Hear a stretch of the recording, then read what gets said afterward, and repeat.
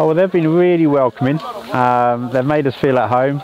Uh, we've had a couple of jokes with them, and they've been uh, we've been working together. Um, yeah, lots of smiles and laughter. It's been amazing to, to, to see the, the countryside, to see what the sand dams can do in terms of uh, providing water for farms and for communities.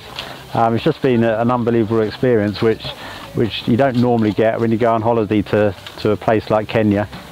So yeah, it's been really enjoyable. The, the most fulfilling bit is to spending three days working with the local communities to, uh, to build their dam and how quickly it's come on in the last few days is quite amazing. But it's one of the reasons I like working for Barclays is we have the opportunity to, to get involved in, in expeditions like this and we've uh, uh, it's great that we get get the support from from Barclays itself, and it's great that they work with the various charities to give us these opportunities.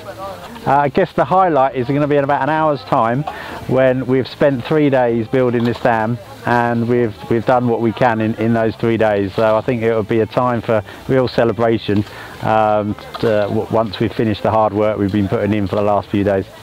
It's a really, really good lesson in, in how lucky you can be, and it's a good lesson in actually you can you can do something to change other people's lives as well. So I'd recommend it to anyone. Well, I don't think anything could have prepared prepared me for how hard it would be to spend three days shoveling uh, moving sand and cement and mixing cement. Um, so, totally unprepared for it. Realise how totally unfit I am. Uh, but yeah, I think at the end of the three days, you, you, you really feel like you've made a difference. It, to see it as a permanent fixture and to, to change so many lives and really support the community over a long, long period of time is, is something very rewarding.